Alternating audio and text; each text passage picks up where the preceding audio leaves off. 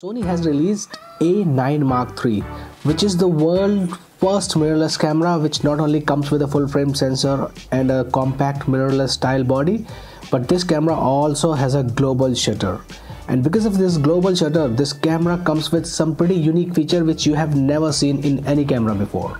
Along with all these benefits there are also some flaw which are gonna come in this camera due to this global shutter which we are going to discuss at the end of this video and see how Sony is going to tackle them. But let's first understand what is a global shutter all the traditional DSLR and mirrorless cameras are comes with a rolling shutter. In rolling shutter cameras, when you take a photo, pixel in your sensor are activated one by one instead of being activated all together. They capture the light and create the photo for you.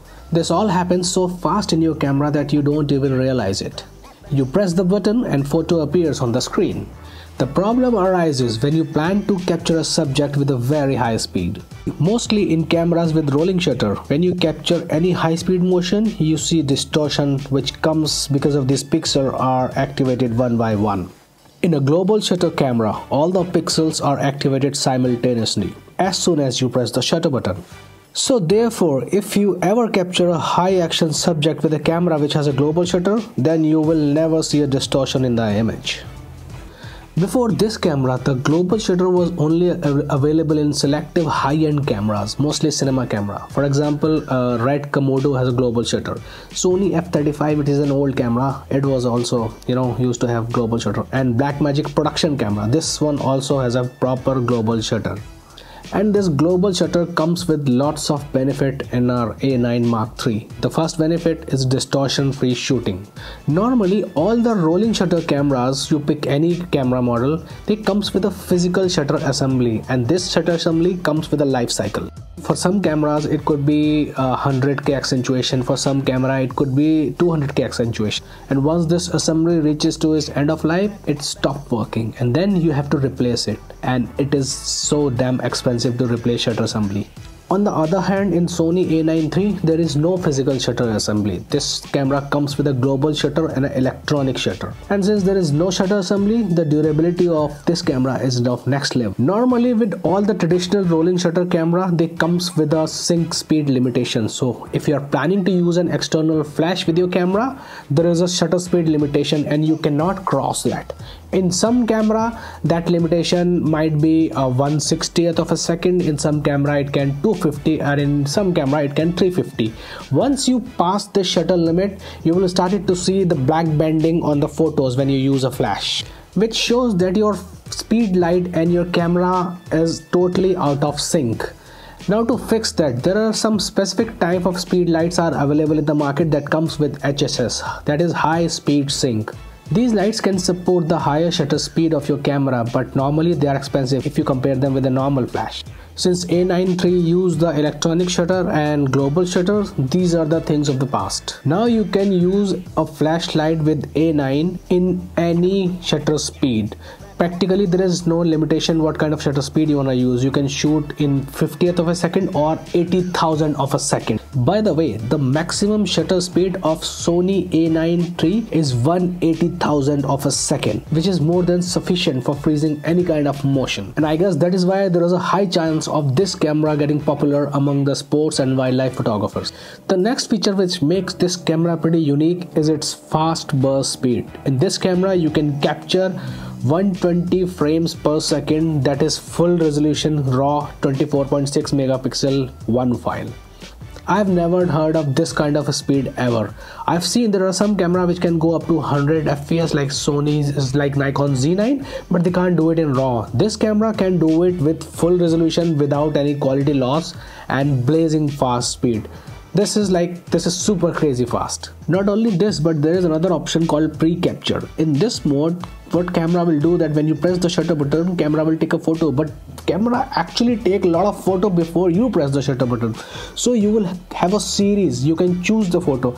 This mode is really helpful because sometimes what happen when we see a subject and we try to photo capture the photo sometimes we miss the shot. But with this uh, feature you can go back and see the entire series and select the best frame as per your original vision. It's a game-changing feature for lots of sports and event photographers Another unique feature in this camera is the inclusion of a new custom button C5 this button is assigned to a speed boost. So for example if you are shooting a scenario and you're capturing it in 30p but suddenly you think that you need to raise the increase to capture more frames all you have to do is to press the c5 button.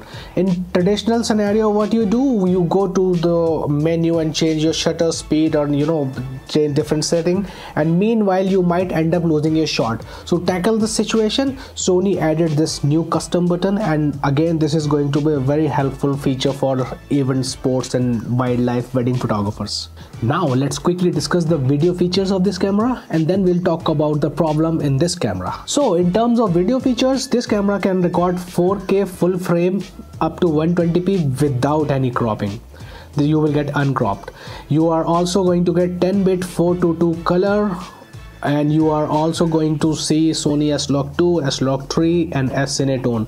This camera also give you up to 8 stop of dynamic stabilization which is really good. And this camera comes with a Sony lens breathing compensation like all the new Sony cameras. And last but not the least this camera can also record raw videos. You can use an external raw recorder and record raw video with this particular camera. And I will not discuss more about the autofocusing performance because Sony cameras are like they always perform best. Like other camera this camera also has a AI processing unit which further improves its autofocusing capability in video as well as in still modes. Now let's talk about the problem in this camera. Uh, and the first one is the dynamic range. It's been seen that most of the global shutter camera they have some kind of impact in the dynamic range a negative impact. It is not true for all the camera but uh, you will find this problem in majority of the camera. And that is the reason Sony has not mentioned about the dynamic range of this camera. If you look at their announcement you will not find anything about dynamic range. Normally when they launch a camera they always brag about that 14 stops of dynamic range 15 stops of dynamic dynamic range. But with this camera there is no mention which somehow raises the flag that this camera's dynamic range is not going to be as good as Sony's other camera.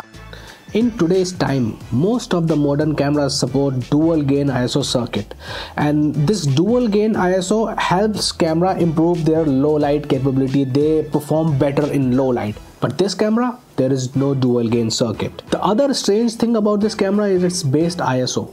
This camera's base ISO is 250 not the 100 in the camera with global shutter it's also been noticed that the low light performance of these cameras are not that good and now these two things like the absence of uh, dual gain circuit and the base ISO is 250 it somehow shows that this camera might be Sony's first camera which might have or we can say that which will not perform as the normal Sony's camera uh, when it's come to a low light performance. And that is the reason they have added a new composite capture mode in their camera where the camera takes a series of raw photos combine them and give you a clean photo now this feature is again uh, i mean confusing because on all the other manufacturer they provide this feature to enhance the resolution a super resolution mode. For example this camera only give you 24.6 megapixel. So wouldn't it be better if sony provide us a super resolution mode instead of uh, giving us a cleanest image? Again this shows that they are prioritizing the image quality which means that this camera might have a not so good low light performance as compared to other sony cameras this camera is going to be expensive.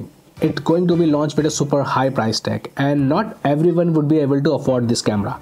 But that being said, a global shutter can be helpful uh, in a lot of scenario and i would say all the high-end wedding photographer event photographer and sports and you know action photographer they would love to go for this camera so that's it for today's video guys. If you have any question please drop a comment below and i'll try to reply as soon as i can.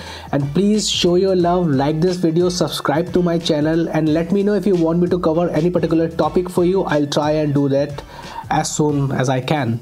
So that's it. I'll see you soon with my next video. Till then bye bye